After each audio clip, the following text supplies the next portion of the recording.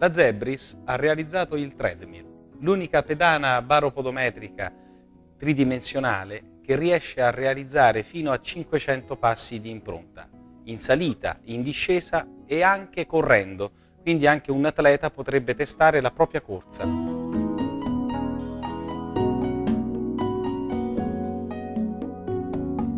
Sulle pedane convenzionali, oltre a non essere possibile questo, montano dei sensori adattativi, al contrario di questa che invece ha sensori capacitivi.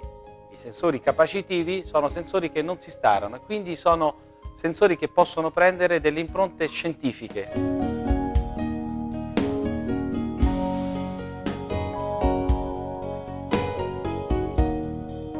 Il gruppo Giuliani è importatore ufficiale per l'Italia della Zebris Treadmill e delle sue apparecchiature elettroniche.